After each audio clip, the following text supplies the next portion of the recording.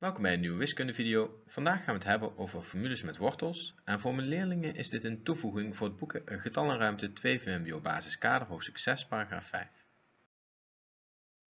Hiernaast zien we een plaatje en dat plaatje komt je misschien wel bekend voor. Bij kwadraatjesformules hebben we namelijk ook naar zulke bouwwerkjes gekeken. Toen hadden we een formule waarmee we het aantal vierkanten konden berekenen als we wisten welk nummer bouwwerk we hadden. We gaan het nu andersom doen. Met deze formule kunnen we, als we weten hoeveel vierkanten er in een bouwwerkje zitten, berekenen welk nummer bouwwerk we dan hebben. Nou, we gaan dus nu eerst leren om formules met wortels te gebruiken. Daarna ga je leren hoe je een formule kunt gebruiken om een tabel in te vullen. Vervolgens pakken we die tabel en tekenen we daarbij een grafiek. En als laatste ga je zelf oefenen. Nou, hoe werkt dat nou, zo'n formule met een wortel? We gaan berekenen hoe, welk bouwwerk er 6 vierkanten heeft. Om dat te kunnen doen, moeten we op de plek van a een 6 invullen. En dan krijgen we dit, de wortel van 6 min 2. Nu is het zo dat alles wat onder het wortelteken staat, dat moeten we eigenlijk eerst uitrekenen voordat we de wortel pas uitrekenen. En dat betekent dat we er even haakjes omheen moeten zetten als we een oude type rekenmachine gebruiken. En dan krijgen we dat we intypen op de rekenmachine de wortel van haakje openen 6 min 2 haakje sluiten. En dat is 2. Dus bij bouwwerk nummer 2 horen 6 vierkanten.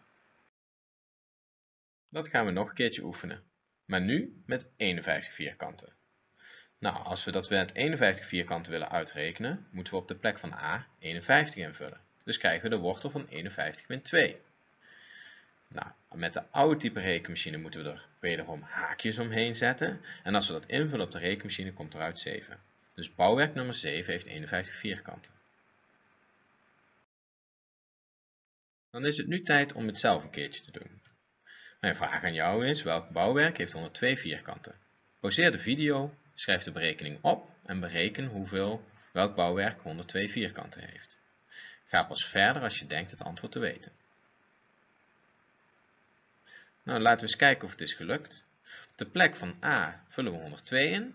We denken natuurlijk aan dat we haakjes om 102 min 2 moeten zetten. En dan komt eruit 10. Dus bouwwerk nummer 10 heeft 102 vierkanten. Nu we weten hoe we zo'n formule moeten gebruiken, kunnen we hem gebruiken om een tabel in te vullen. Als we de oppervlakte van de cirkel weten, kunnen we de straal berekenen met de formule straal in centimeter is de wortel van c gedeeld door pi.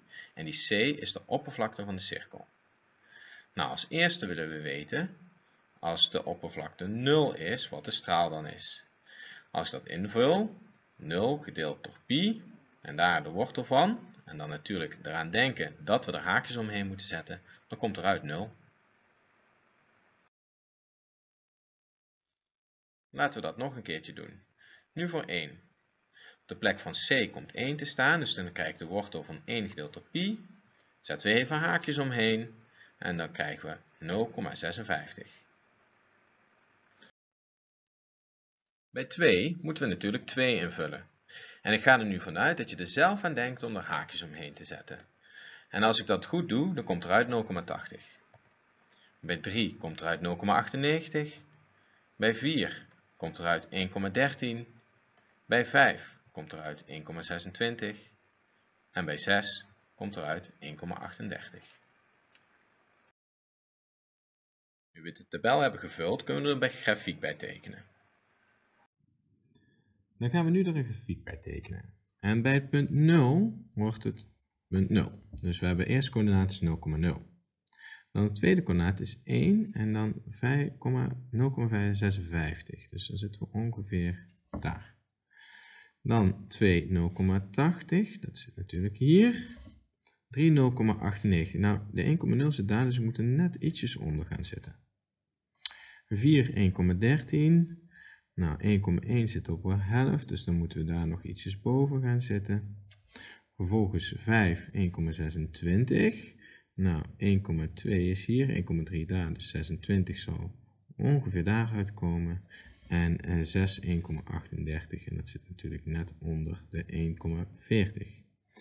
En net als bij een kwadratische functie, net als bij een kwadratische formule, moeten we een vloeiende kromme tekenen. Dus we moeten een uh, gebogen lijn tekenen door die punten heen. Nou, dat kunnen we niet in één keer doen, dat doen we door te schetsen. Dus We schetsen elke keer kleine streepjes en maken zo een mooi boogje die door die verschillende punten heen gaat. En als ik zie dat ik ergens een beetje uitschiet, nou, dan kom ik er dus nog eens even uit en dan teken ik een klein stukje opnieuw. Nou, dan heb ik zo mijn vloeiende krom getekend. Dan is het nu tijd om zelf te gaan oefenen. We zien hier een verhaaltje met een formule. Als we een steen van een grote hoogte laten vallen, kunnen we berekenen hoe lang die erover doet om op de grond te komen met de formule tijd in seconden is de wortel van 0,2 h.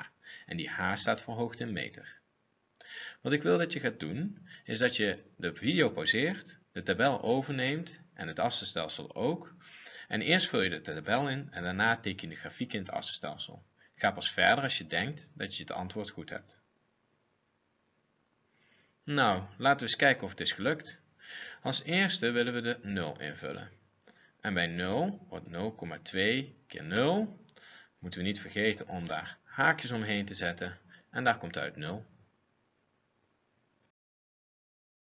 Daarna komt 1. Die 1 die moeten we invullen. De 0,2 keer 1 en daar de wortel van. Niet vergeten om daar haakjes omheen te zetten. En dat is 0,45. Vervolgens willen we de 2 invullen. 0,2 keer 2 en daar de wortel van, dat is 0,63. 0,2 keer 3 daar de wortel van, 0,77. 0,89. Bij 5 meter hoort 1. En bij 6 hoort 1,10. Heb de tabel wat kleiner gemaakt om wat meer ruimte te maken voor de grafiek. En de grafiek gaan we nu tekenen. Dan gaan we nu de grafiek tekenen, die hoort bij de tabel. Als eerste punt hebben we 0,0, dus dit zit in onze oorsprong.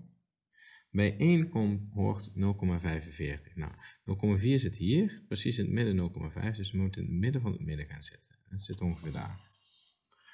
Daarna 2 0,63, dus ik moet net boven die 0,6 gaan zitten. Bij 3 hoort 0,77. Dus dan moet ik net onder die 0,8 komen. Bij 4 hoort 0,89. Nou, dat is bijna 0,9. Dus ik moet daar op de helft zitten. Bij 5 hoort 1. En uh, bij 6 hoort 1,10. Dus dan zit ik daar precies op de helft. Nou, en net als de vorige keer ga ik dus een lijn trekken. Een boogje maken door al die punten heen. En dat doe ik niet door in één keer een lijn te tekenen. Maar dat doe ik door mijn lijn te schetsen.